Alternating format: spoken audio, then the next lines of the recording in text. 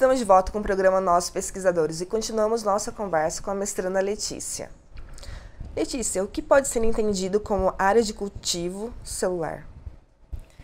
Bom, essa área é, a gente aprende como cultivar as células é, fora do organismo. Então, é, normalmente elas são cultivadas em garrafas com meio de cultura propício para que elas cresçam naquele ambiente, para depois essas células serem utilizadas em algum teste ou serem induzidas em animais para o tratamento de alguma doença. Então, essa área é, você aprende como cultivar as células, como preparar uma solução, preparar um meio de cultura, o que é necessário né, que tenha nesse meio para que as células cresçam, diferentes tipos de células, quais as condições que você tem que preparar para cada tipo, porque depende uma da outra, tem algumas que são que crescem mais rápido, por exemplo, que outras. Tem algumas que precisam de aminoácidos, glicose outras não. Então a gente aprende várias, várias características, várias coisas da, de, de todo tipo de célula, né? Letícia, como é fazer parte do grupo CEPOF? Olha, é bem legal porque o grupo é muito heterogêneo, no sentido de tem pessoas de várias formações ali, então tem biólogos, tem físicos, farmacêuticos. Então a gente tem um contato com diferentes áreas, com diferentes pessoas, isso enriquece a nossa pesquisa, né? Então é muito é muito legal isso, é muito enriquecedor.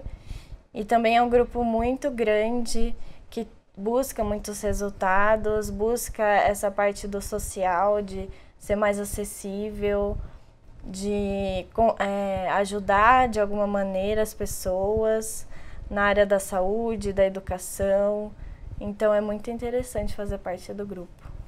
E qual a importância da difusão científica? Olha, é muito importante porque a ciência ela ajuda em outras áreas, né? Então, a pesquisa ela pode ajudar na saúde, que é muito importante, porque sem a saúde as pessoas não conseguem produzir, não conseguem trabalhar.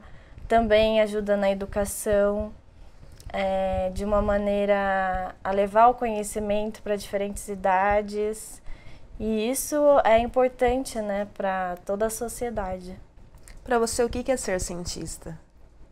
Ser cientista é uma pessoa que passa por vários desafios e que ela é motivada, que ela busca novas ideias, novas técnicas, que sempre está com com esse anseio de gerar algo útil, de gerar algo acessível e uma pessoa hum, focada, né, motivada, comprometida.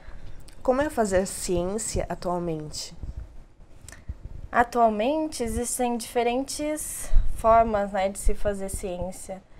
Existem as ciências mais básicas, né, como a química, a biologia, física. Também existe as, a ciência tecnológica, né? E tudo, tudo envolve todas as áreas, né? Então, então é isso. E quais os desafios de se fazer ciência? Ó, é desafiador, principalmente porque precisa de uma estrutura, né, muito bem muito bem feita para você conseguir fazer ciência. Porque você precisa de equipamentos, de conhecimento, de troca de experiência, de tempo, né, de disponibilidade. Então, se, se tem tudo isso, né, a ciência consegue avançar. E no futuro, o que vem por aí? Ó, o futuro está bem incerto nesse momento, né? Como a gente tem visto. É... Espero que hum, continue o investimento na ciência, porque é muito importante para o desenvolvimento do país, né? Para a sociedade como um todo. E que, que a ciência seja vista como algo bom, né? Como algo que impulsiona, que traz é, traz resultados, traz investimento, né? E que a gente tenha, tenha isso no nosso país, né? Quem quiser saber mais sobre o assunto, o que pode fazer? Ó, pode procurar o grupo, né? Que é um grupo sempre aberto para discussão, para pesquisa. Você pode fazer um tempo de, de algum experimento ali no grupo, conhecer os vários laboratórios, participar dos eventos. Sempre tem muito evento no grupo, tá em contato com as mídias para ver quando que está acontecendo esses eventos. E a gente está sempre aberto, né, para conversar, para para compartilhar o nosso conhecimento, né? Obrigada pela entrevista. Obrigada a você. O programa de hoje fica por aqui. Sou Viviane Marque e até a próxima.